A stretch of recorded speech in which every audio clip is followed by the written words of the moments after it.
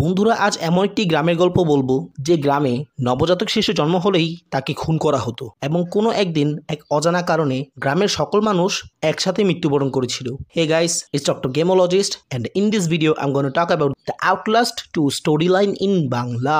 Outlast ওয়ানের সকল ঘটনার পর মোটামুটি অনেক দিন কেটে গিয়েছে। তো এরই মাঝে একদিন অ্যারিজোনার টেম্পল গেট নামক একটি অঞ্চলের অনেক দূরে একটি রাস্তার মধ্যে এক অন্তঃসত্ত্বা নারীর লাশ পাওয়া যায়, যার নাম জেন্ডো। তো ওই মেয়ে নাকি সুইসাইড করেছিল। পুলিশ বিষয়টা এখনও তদন্ত করে ঠিকঠাক বের করতে পারেনি যে কেন খুন হয়েছিল। কিন্তু ওই মেয়ের মৃতদেহ থেকে এইটুকু বোঝা সম্ভব ছিল না যে সেটা আদৌ হত্যাকাণ্ড নাকি সুইসাইড তো সেই বিষয়ে তদন্ত করার জন্যই দুজন ফ্রিল্যান্সার সাংবাদিক লেন লিঙ্গারম্যান এবং ব্লেক লিঙ্গারম্যান।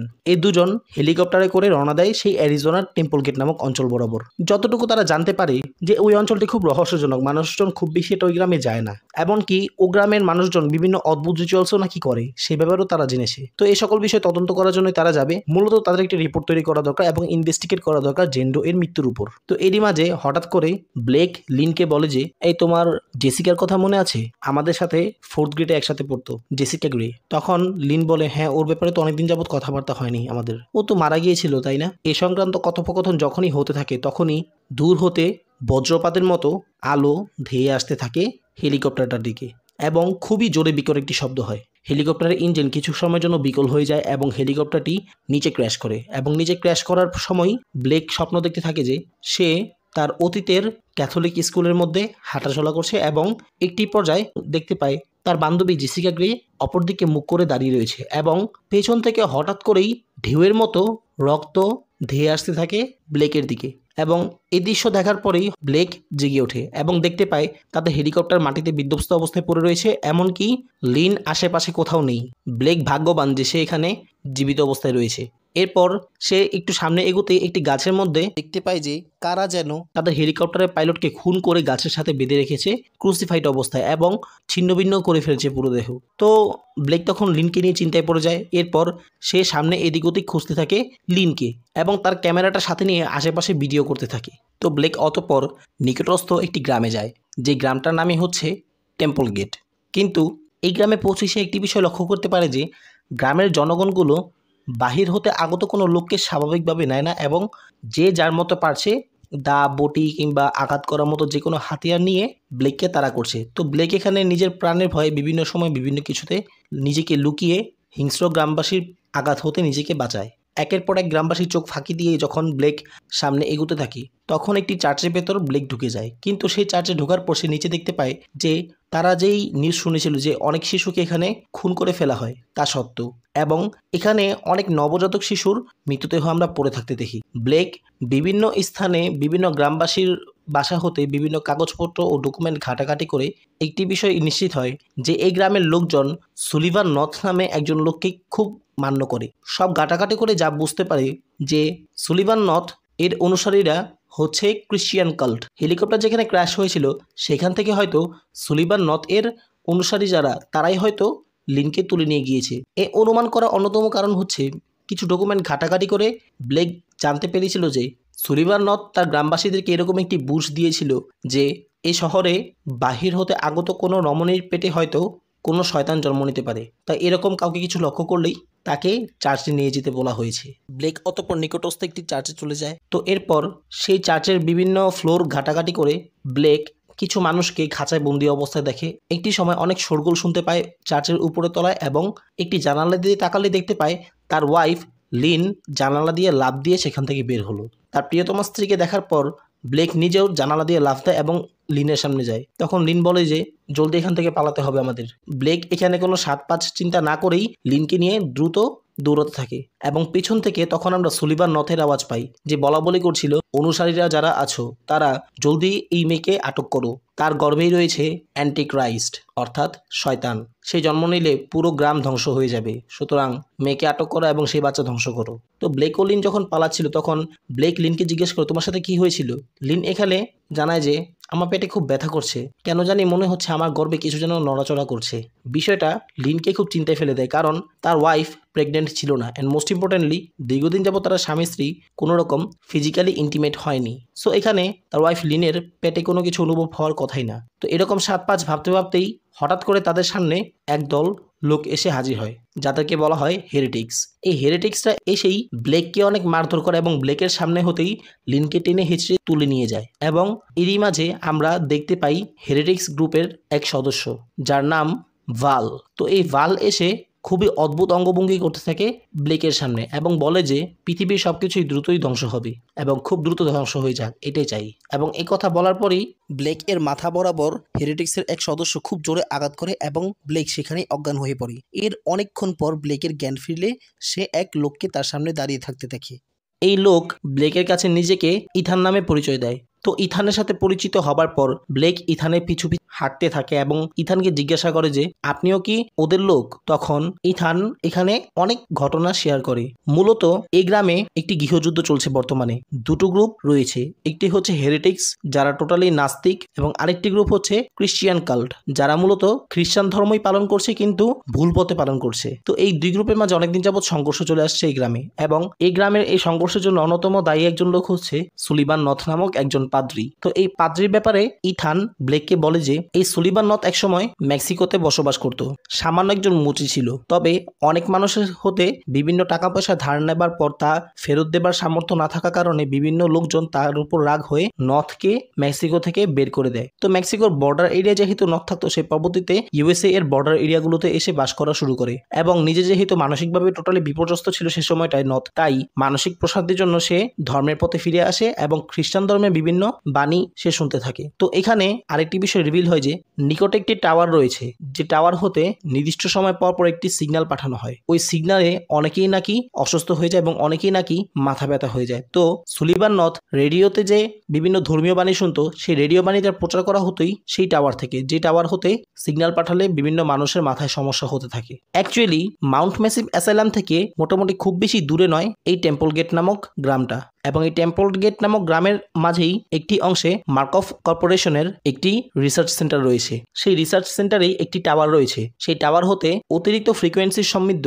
এক ধরনের সিগন্যাল নির্দিষ্ট সময় পর পর মার্কফ কর্পোরেশন পাঠাতে থাকে বেতার তরঙ্গের মাধ্যমে। তার মানে যারা রেডিও শুনত, তারা সকলেই ওই সিগন্যালের কারণে ক্ষতিগ্রস্ত হচ্ছিল এবং মার্কপ কর্পোরেশন একটি পর্যায়ে চিন্তা করে মানুষকে মানসিকভাবে কন্ট্রোল করা এবং সেজন্য তারা এই গ্রামের বিভিন্ন জলাশয়ে বিভিন্ন পানি সরবরাহের যে ব্যবস্থা রয়েছে, সেখানে বিভিন্ন কেমিক্যাল মিশিয়ে দেয় এবং রেডিও টাওয়ার হতে এক ধরনের অদ্ভুত গ্যাস পুরো বাতাসে ছড়িয়ে দেয়। এই গ্রামবাসীর মানসিক অবস্থা টোটালি বিপর্যস্ত হয়ে গিয়েছিল এবং এর উপর হাই ফ্রিকোয়েন্সি সমৃদ্ধ রেডিও সিগনালে পাঠানো বিভিন্ন উদ্ভট কথাবার্তার কারণে এই গ্রামবাসীদের মন মানসিকতা একটি মানসিক টুকি চেয়েও ভয়াবহ অবস্থায় পৌঁছে গিয়েছিল। তো সুলিবান নদ যেহেতু একজন ধার্মিক খ্রিস্টান ছিল, সে সবসময় রেডিওতে বিভিন্ন ধর্মীয় বাণী শুনতো। কিন্তু একসময় মার্কপ কর্পোরেশন হতে এই রেডিওতে উদ্ভট কিছু কথাবার্তা প্রচার করতে থাকে, যেগুলো ধর্মীয় বাণীর মধ্যে পড়ে না। তো সুলিবান নথ কীভাবে একজন ধার্মিক থেকে পরবর্তীতে একটি গ্রামের জনগণের কাছে গডের মতো হয়ে গেল, সেই বিষয়টাই এখন ব্যাখ্যা করব। তো সুলিবান নথ যখন ওই রেডিওতে পাঠানো বিভিন্ন সিগন্যাল শুনতো, একটি সময় তার রেডিও সিগন্যাল হতে পাঠানো বিভিন্ন ধর্মীয় বাণীগুলোকে সরাসরি সৃষ্টিকর্তা হতে পাঠানো বাণী বলে মনে হতে থাকে। যদিও বাণীগুলো কোনো একজন ব্যক্তি পড়ে পাঠাতো। তো একটি পর্যায়ে সুলিবান নথ বিভিন্ন উদ্ভট বিষয়ে হ্যালুসিনেট করতে থাকে। তার মানসিক ভারসাম্য এক সময় হারিয়ে যায়। কারণ সেও এই গ্রামে অনেকদিন যাবৎ বাস করছিল। এমনকি সেই সিগন্যাল গ্রামের পানিতে মেশানো কেমিক্যাল এবং বাতাসে মেশানো কেমিক্যালের কারণে তার মানসিক অবস্থা টোটালি বিপর্যস্ত হয়ে গিয়েছিল এবং সে এক পর্যায়ে গ্রামবাসীর নিকট এরকম কিছু কথা প্রচার করতে থাকে, যে রেডিও সিগন্যাল হতে আমি সৃষ্টিকর্তা হতে প্রাপ্ত বিভিন্ন মেসেজ পেয়েছি এবং সেই মেসেজ আমি, বাণী হিসেবে, দি গসপেল অফ নথ নামক একটি গ্রন্থে লিখেছি। সেই গ্রন্থ তোমরা ফলো করবে এবং আমাদের এই গ্রামে একজন অ্যান্টি ক্রাইস্ট জন্ম নিবে। তো বন্ধুরা অ্যান্টি ক্রাইস্ট কি? ক্রাইস্ট বলতে সাধারণত যেহেতু যীশু খ্রিস্টকে বুঝে থাকি আমরা, তো এই যীশু খ্রিস্টের বিরোধী কোনো একটা শক্তি হয়তো জন্ম নিবে কারও গর্বে এরকম একটি কথা সুলিবার নথ তখনই তার গ্রামবাসীকে বলে দিয়েছিল।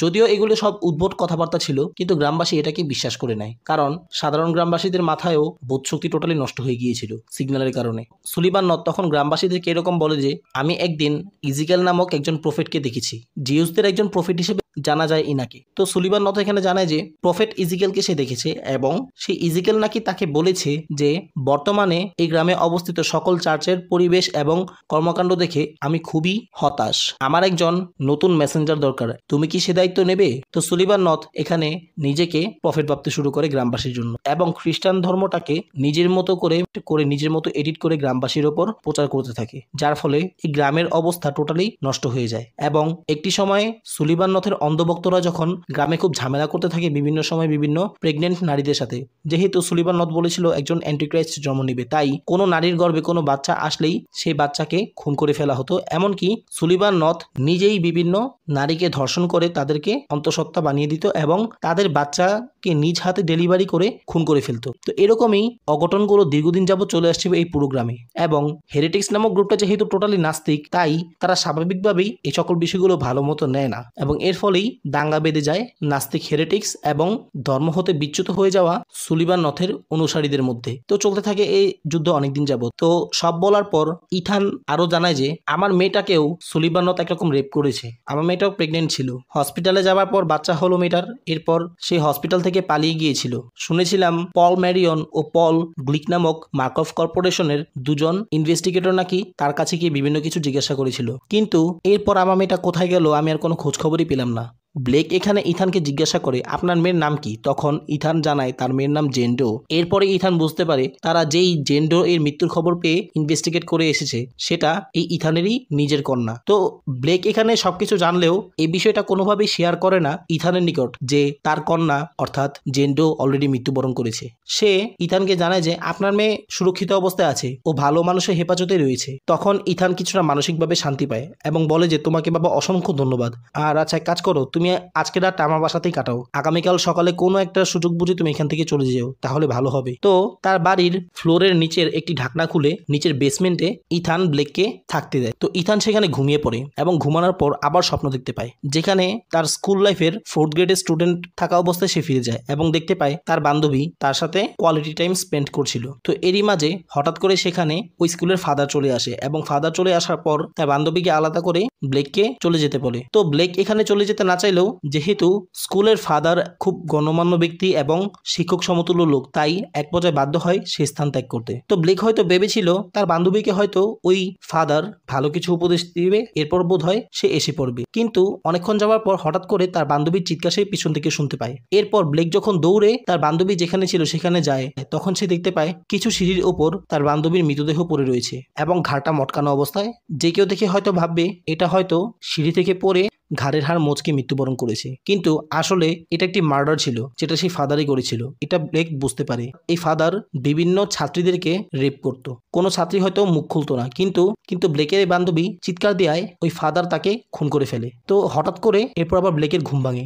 ঘুম ভাঙার পর সে বেসমেন্টের কিছু ফাঁকা অংশ হতে দেখতে পায় যে, এক ভয়াবহ আকৃতির মহিলা ইথানের ঘরে এসে পড়েছে এবং ইথানকে অনেক নির্যাতন করছে এবং জিজ্ঞাসা করছে, আউটসাইডার লোকটা কোথায়? তো এখানে আউটসাইডার বলতে মূলত ব্লেককেই বোঝানো হয়েছে। তো ইথান এখানে কোনোভাবেই জানায় না যে আউটসাইডার অর্থাৎ ব্লেক কোথায়। শুধু এটুকুই বলে আমি জানি না। কিন্তু ওই মহিলা নিজের হাতে থাকা এক হাতিয়ার দিয়ে খুবই হিংস্রভাবে খুন করে ফেলে ইথানকে। তো সেই মহিলা যখন ওই স্থান ত্যাগ করে, অতপর ব্লেক নিচের বেসমেন্ট থেকে বের হয়ে আসে এবং ইথানের মরদেহর দিকে তাকিয়ে দুঃখ ভারাক্রান্ত মনে বলে, দুঃখিত, আমি আপনার নিকট সত্যিটা বলিনি। তবে ধন্যবাদ, আপনি আমাকে বাঁচিয়েছেন। তো বন্ধুরা, মূলত ওই ভয়াবহ আকৃতির মহিলার নাম হচ্ছে মার্থা এবং এই মার্থা নিজেও সুলিবান নথ এরই একজন লোক। তোমাদের মনে হয়তো প্রশ্ন থাকতে পারে যে ইথান কীভাবে সুস্থ রইল? একই গ্রামে এই দূষিত পানি ও দূষিত বায়ুর মাঝে থেকেও অ্যাকচুয়ালি ইথান নিজের দৈহিক সুস্থতার জন্য নিকটস্থ শহর থেকে বিভিন্ন অ্যান্টিবায়োটিক ওষুধ এনে খেত এবং এই অ্যান্টিবায়োটিক ওষুধ বিভিন্ন সময় সে খেত বলেই একই গ্রামে থেকেও দূষিত পানি, দূষিত বায়ু এমনকি মার্কআপ কর্পোরেশনের পাঠানো রেডিও সিগন্যাল তার মানসিক স্বাস্থ্যের ওপর বড় ধরনের কোনো প্রভাব ফেলেনি এবং সে মানসিকভাবে সুস্থ ছিল বলেই সে ব্লেককে এখানে হেল্প করেছিল।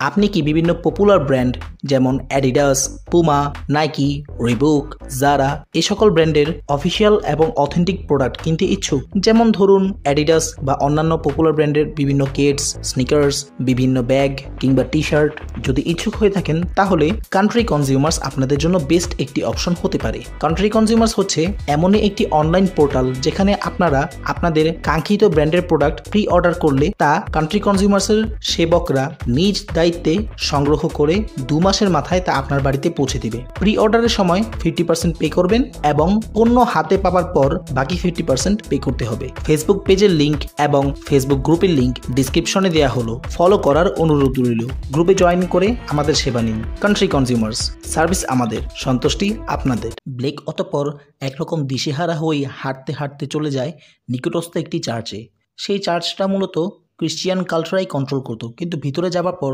সে এক হেরেটিক্সের সদস্যকে বাধা অবস্থায় দেখতে পায়। তো হেরেটিক্সের ওই সদস্য দু চোখ উপড়ে ফেলা হয়েছিল, তবুও জীবিত ছিল। তো ওই সদস্য আওয়াজ পেয়েই বলে, এখানে কি আছো? আমাকে জলদি খুন করে ফেলো। তখন ব্লেক বলে যে, আমি ক্রিশ্চিয়ান কালচার কেউ না। তখন হেরেটিক্সের ওই লোক বলে, তাহলে তুমি আমাকে খুন করে ফেলো। হেরেটিক্সের সদস্যরা ওই আউটসাইডার মহিলাটাকে কয়েক মাইল দূরে অবস্থিত একটি মাইনফিল্ডের ওখানে নিয়ে যাবে এরকম শুনেছিলাম। কিন্তু আমি সত্যিই জানি না আসলেই ওখানে নিয়ে গিয়েছে কি না। আমাকে অলরেডি আটক করে রেখেছে, আমি কোনো তথ্য জানি না। তাই আমার মেয়েকে টেনে হিচড়ে ওরা এখানে নিয়ে আসবে। তুমি আমাকে খুন করে ফেলো, না হয় ওরা আমার মেয়েকে খুন করে ফেলবে। এই কথা বলতে বলতেই সুলিবার নথের চিৎকার পেছন থেকে শোনা যায়। ব্লেক অতপর একটি দরজা খুলে চার্চের ভিতরেই একটি স্থানে লুকিয়ে পড়ে। তো সেখানে দরজায় থাকা ফাঁক দিয়ে ব্লেক দেখতে পায় যে সুলিবার নথ ও তার কিছু সহযোগী মিলে ওই হেরেটিক্সের মেম্বারের কন্যাকে তুলে নিয়ে এসেছে। এরপর সেই কন্যাকে জিজ্ঞাসাবাদ করা হলে সে মেয়ে যখন কিছুই বলতে পারে না, তখন একটি যন্ত্রে ওই মেয়েকে শুইয়ে দুদিক হতে খুব সজোরে টান দেওয়া হয় ওই যন্ত্রের সাহায্যে। ওই মেয়ের শরীরে বিভিন্ন ভাঁজ ছিঁড়ে যায় এবং রক্তপাতে মেয়েটা মৃত্যুবরণ করে এবং ক্রিশ্চিয়ান কাল্টের ওই লোকেরা ওই হেরিটিক্সের ওই আটক সদস্যটাকেও খুন করে ফেলে। তো যখন সুলিবার নথ সেখান থেকে চলে যায় তখন এই ব্লেক তার আশ্রয় থেকে দ্রুত বের হয়ে সেই চার্চ থেকে বের হয়ে যায়। এরপর ব্লেক অতপর একরকম বুকে আশা নিয়ে সেই মাইনফিল্ড বরাবর রওনা দেয়। তো যাবার পথে একটি ব্রিজের মতো অবকাঠামো পার হতে হয় ব্লেককে। কিন্তু হঠাৎ করেই সেখানে দমকা হাওয়া বইতে থাকে। ব্লেক এক পর্যায়ে ভারসাম্য হারিয়ে উপর থেকে নিচে পড়ে যায়। তো নিচে সরাসরি জলাশয়ে পড়ার পর ব্লেক তীরে এসে কোনো মতো একটি ভেলা খুঁজে পায়। সেই ভেলার মধ্যে চড়ে সে সামনে এগুতে থাকে। কিন্তু হঠাৎই একটি ঢেউ এসে ব্লেককে আবার ভাসিয়ে নিয়ে যায়। এরপর ব্লেক ভাসতে ভাসতে একটু স্থলপথে ফিরে আসার সময়ই সে দুজন উন্মাদ গ্রামবাসী হাতে ধরা পড়ে। তারা ব্লেকের সাথে অদ্ভুত রকম আচরণ করতে থাকে। ব্লেককে তারাও কিছুক্ষণ টর্চার করে এবং টর্চারের পর তারা দু দুবার ব্লেককে আটকানোর চেষ্টা করে, কিন্তু ব্লেক সামহাউ নিজের দক্ষতার সাহায্যে দু দুবারই আটক অবস্থা থেকে নিজেকে ছাড়িয়ে নেয়। তো ব্লেকের পিছু করতে গিয়ে এক পর্যায়ে উঁচু একটি স্থাপনা থেকে ওই দুইজন একসাথে নিচে পড়ে এবং মৃত্যুবরণ করে। তো ব্লেক সে যাত্রায় বেঁচে যায়। এরপর অনেক হাঁটাহাঁটি ও চড়াই উতরাই পেরিয়ে ব্লেক একটি অদ্ভুত গ্রামে পৌঁছায় যে গ্রামের আশেপাশে শুধু রক্ত আর রক্ত এবং কিছু কিছু স্থানে মানুষের মাথার অংশ বিভিন্ন শিকের মধ্যে ঢুকানো ছিল।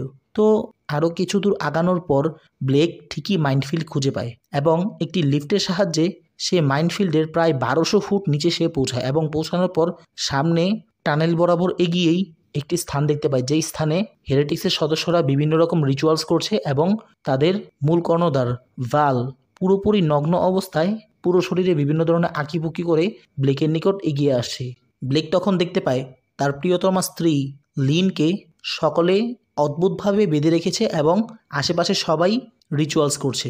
তো ব্লেকের ওপর ভ্যাল ও তার সহযোগীরা যখন চড়াও হয়, ঠিক তার কিছুক্ষণের মধ্যেই ক্রিশ্চিয়ান কাল্টের লোকেরা সেখানে এসে যায় এবং সেখানে আসার পর সকল হেরেটিক্সের সদস্যদের উপর আক্রমণ করতে থাকে। দুপক্ষ যখন মারামারিতে ব্যস্ত, ঠিক সেই মুহূর্তেই ব্লেক লিনকে ছাড়িয়ে নেয় এবং তারা দ্রুত সেই মাইন্ডফিল্ড থেকে পুনরায় লিফটের সাহায্যে বের হয়ে যায় এবং বের হবার পর ব্লেক দেখতে পায় যে তার প্রিয়তমা স্ত্রী লিন আসলেই এই মুহূর্তে প্রেগনেন্ট এবং অতি আশ্চর্যের ব্যাপার হচ্ছে, হেলিকপ্টার ক্র্যাশের পর থেকে এ পর্যন্ত মাত্র সাত থেকে আট ঘণ্টা অতিবাহিত হয়েছে। এরূপ সময়ের মধ্যে স্বাভাবিকভাবেই কোনো মানুষের প্রেগনেন্ট হবার কথা না। কি হয়েছিল তার সাথে? এ বিষয়ে আস্ক করতেই লিন বলে, আগে একটি নিরাপদ স্থানে নিয়ে চলো, আমি বোধহয় আর বাঁচবো না। তো ব্লেক অতপর লিনকে নিয়ে দ্রুত নিকটস্থ একটি চার্চের দিকে যেতে থাকে। কিন্তু পথিমধ্যে হিংস্র মার্থা এসে দাঁড়ায়। এই মার্থা তার হাতের হাতিয়ারের সাহায্যে ব্লেক এবং লিন উভয়কে খুন করতে নেয়। কারণ এই মার্থা যেহেতু ক্রিশ্চিয়ান কাল্টের লোক, তার মাঝে এরকম একটি ভুল বিশ্বাস ছিল যে ব্লেক এবং লিনের দ্বারা হয়তো অ্যান্টিক্রাইস্ট জন্ম নিতে পারে, তাই খুন করতে হবে তাকে। মূলত ওই দিন পুরো রাতেই বিভিন্ন স্থানে ঝড়ো হাওয়া বয়েছে। একটি মুহূর্তে ব্লেক ও লিনের ওপর যখন মার্থা আক্রমণ করতে যাবে তার ভারী হাতিয়ার দিয়ে, ঠিক তখনই ঝড়ো বাতাসের ফলে একটি চার্চের উপরের একটি অংশ সরাসরি ব্যালেন্স হারিয়ে নিচে পড়ে যায় এবং তা মার্থার দেহভেদ করে মাটির মধ্যে গিয়ে পড়ে। মার্থা এখানেই মৃত্যুবরণ করে। তো সেই চার্চের ভেতরেই ব্লেক লিনকে নিয়ে চলে যায়। এরপর লিনকে একটি কাঠের আসবাবপত্রে শোয়ানোর পর লিন ব্যথায় অনেক কাতরাতে থাকে এবং সেখানেই ব্লেক দেখতে পায় যে লিন একটি সন্তান প্রসব করে। রক্তে মাখামাখি সেই শিশুকে ব্লেক কোলে নিয়ে লিনের সামনে যখন যায়, লিন তখন একরকম আশাহত হয়েই ব্লেকের দিকে তাকিয়ে বলে যে, প্রিয়, তোমার হাতে ওটা কিছুই নেই। এই কথা বলার পরেই সে মৃত্যুবরণ করে। ব্লেক তার স্ত্রীর মৃত্যুতে কিছুই করতে পারে না। মানসিকভাবে টোটালি ভেঙে পড়েছে। অনেক কান্না করতে থাকে। এরপর আমরা দেখতে পাই, সেই চার্চেই একটি স্থানে বসার পর ব্লেক এক পর্যায়ে জ্ঞান হারিয়ে ফেলে। ব্লেকের যখন অতপর জ্ঞান ফিরে, তখন সে দেখতে পায় তার হাতে বাচ্চা রয়েছে এবং তার সামনে সকল ঝামেলার মূল হোতা সুলিবান নথ বসে রয়েছে এবং ব্লেককে উদ্দেশ্য করে বলছে তোমার হাতে অলরেডি অ্যান্টিক্রাইস্ট শুয়ে রয়েছে। আমরা টোটালি ব্যর্থ, আমাদের পুরো গ্রাম ব্যর্থ। অ্যান্টিক্রাইস্ট জন্ম নিলে আমাদের সকলের জন্য অমঙ্গল হবে এবং সকলের ধ্বংস অনিবার্য। তাই কিছুই করার নেই। আমি ব্যর্থ, তাই আমার ব্যর্থতা স্বীকার করে আমি এখান থেকে বিদায় নিচ্ছি। এ কথা বলার পর নিজের ব্যর্থতা সইতে না পেরে সুলিবার নথ সেখানেই নিজের গলা বরাবর ছুরি চালিয়ে মৃত্যুবরণ করে। ব্লেক অথবা বাচ্চাটাকে সাথে নিয়ে বাহিরে আসে। এরপর দেখতে পায় যে গ্রামবাসী সকলেই মৃত্যুবরণ করে রয়েছে। আশেপাশে সকল কিছু ঘাটাঘাটি করলে ব্লেক বুঝতে পারে সুলিবান নথের নির্দেশে সকল গ্রামবাসী বিষ খেয়ে মৃত্যুবরণ করেছে। কারণ সুলিবান নথ তাদের বলেছিল যে তারা সকলে মিলেই ব্যর্থ হয়েছে অ্যান্টিক্রাইস্ট এর জন্ম ঠেকাতে। তাই বড় কোনো দুর্ঘটনা আসার আগেই তাদের বিদায়ের অংশ হিসেবে তারা সকলেই বিষ খেয়ে মৃত্যুবরণ করেছে। পুরো গ্রাম জনশূন্য। ঠিক সেই মুহূর্তেই মার্কপ কর্পোরেশনের রেডিও সেন্টার থেকে নতুন একটি সিগন্যাল আসে এবং চারপাশ অত্যধিক আলোকিত হয়ে যায় এবং ব্লেক সেখানেই সেন্স হারিয়ে ফেলে। তবে এরপরই মার্কপ কর্পোরেশনের দুজন ইনভেস্টিগেটর ও একটি গবেষক দল সেই গ্রামে পৌঁছায়। সেই গ্রামে পৌঁছানোর পর তারা কিছুই খুঁজে পায় না। তবে মার্কপ কর্পোরেশনের দুজন investigator, I mean Paul Marion O Paul Blake, তারা উভয়ই ব্লেককে ঠিকই খুঁজে পায়। তবে ব্লেকের সাথে কোনো সন্তান ছিল না, শুধু ব্লেকই ছিল। যা দ্বারা বোঝা যায় যে লিনের প্রেগনেন্ট হওয়া থেকে শুরু করে ব্লেকের হাতে বাচ্চা আসা পর্যন্ত সব কিছুই ছিল ব্লেকের হ্যালুসিনেশন কারণ পুরো গেম চলাকালীন প্রায় চার থেকে পাঁচবার রেডিও সিগন্যাল প্রচার করা হয়েছিল। যে সিগন্যালের কারণে এক রাতেই ব্লেক এর মানসিক ভারসাম্য অনেকটা হারিয়ে যায়। শেষ হয়। আউটলাস্ট টু এর গল্প। তোমাদের মনে কিছু বিষয় নিয়ে প্রশ্ন জেগেছে আমি জানি। সে সকল প্রশ্নগুলোর উত্তর আমি দিচ্ছি। হেলিকপ্টার কীভাবে ক্র্যাশ হলো? আসলে মার্কপ কর্পোরেশন যে সিগন্যালটা প্রেরণ করতো কিছুক্ষণ পর পর, সেই সিগন্যালের ফলে আশেপাশের সকল যন্ত্রপাতি কিছুক্ষণের জন্য কাজ করা বন্ধ করে দিত এবং সে কারণেই হেলিকপ্টারটি কিছুক্ষণের জন্য ইঞ্জিন বন্ধ হয়ে যায় এবং তার নিচে ক্র্যাশ করে। জেন ডো এর কি হয়েছিল? মার্কপ কর্পোরেশনের দুজন ইনভেস্টিগেটর, পল ম্যারিয়ন এবং পল ক্লেক এই দুজনে জেন্ডোকে বাচ্চাটার ব্যাপারে এবং তাদের গ্রামের অভ্যন্তরীণ কিছু ব্যাপারে জিজ্ঞাসা করার পর সেই ঘাবড়ে গিয়ে হসপিটাল থেকে একটি সময় পালিয়ে গিয়েছিল এবং পরবর্তীতে ক্রিশ্চিয়ান কাল্টের মার্থা এবং সুলিভান নথ, এরাই মূলত জেন্ডোকে খুন করে এবং এটা দি মার্ক অফ অ্যাকাউন্ট নামক একটি কমিক সিরিজ থেকে জানা যায়, যেটা আউটলাস্টের নিজস্ব কমিক সিরিজ। ব্লেকের ওয়াইফ লিন কি আদৌ প্রেগনেন্ট ছিল?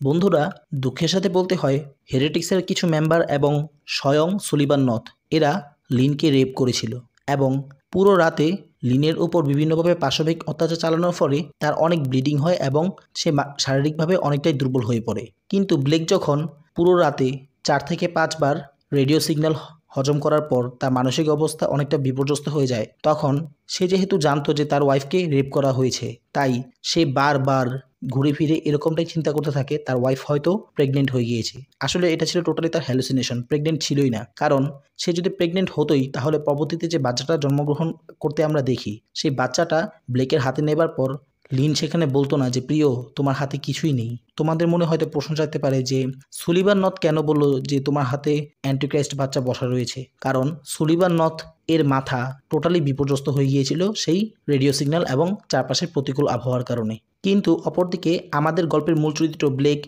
এর মাথা হাফ নষ্ট হয়ে গেলেও বাকি হাফ নষ্ট হয়নি। দ্যাটস ওয়াই সে কিছুটা সচেতন ছিল তার চারপাশের পরিস্থিতি সম্বন্ধে। মার্কপ কর্পোরেশনের ইনভেস্টিগেটর পল ম্যারিয়ন এবং পল গ্লেক এরা কারা? বন্ধুরা, দি মার্ক অফ অ্যাকাউন্ট নামক একটি কমিক সিরিজ রয়েছে।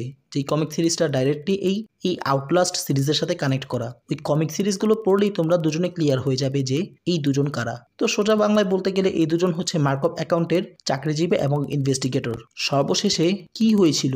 কেন চাপা সাদা হয়ে গেল গেমে আসলে বন্ধুরা রেডিও টাওয়ারটার মধ্যে বিভিন্ন থিওরি অনুযায়ী জানা যায় যে যান্ত্রিক ত্রুটির কারণে এমনকি ওয়াল রাইটার নামক সেই শয়তান আত্মাটা কিংবা ডিমনটা অ্যাটাক করার ফলে সেটা ব্লাস্ট হয়ে যায় এবং ব্লাস্ট হবার পর চারপাশে রেডিও সিগন্যাল যা সঞ্চিত ছিল সেটাতে সব একসাথেই ছড়িয়ে যায়। যার ফলে চারপাশে কেমিক্যাল বাতাস এবং রেডিও সিগন্যাল সব কিছুর ঘর্ষণে একটি বিশাল আলোর সৃষ্টি হয় এবং ব্লেক সেখানেই অজ্ঞান হয়ে পড়ে এবং সর্বশেষ এই ব্লেককে মার্কপ ইনভেস্টিগেটররা এসে খুঁজে পায় এবং তাকে উদ্ধার করে হসপিটালে পরবর্তীতে নিয়ে যায়। এরপর ব্লেকের সাথে কি হয়েছিল তা আমরা জানি না। সো আজ এই পর্যন্তই। ভিডিও ভালো লাগলে কাইন্ডলি চ্যানেলটি সাবস্ক্রাইব করো এবং বেলাইকনটি বাজিয়ে দাও এবং অবশ্যই বন্ধুদের সাথে শেয়ার করতে ভুলবে না। আগামীতে নতুন কোনো স্টোরি লাইন ভিডিওতে আবার দেখা হবে। Till then stay alert stay safe love your family pray yourself do your prayers regularly and always believe on the almighty আসসালামু আলাইকুম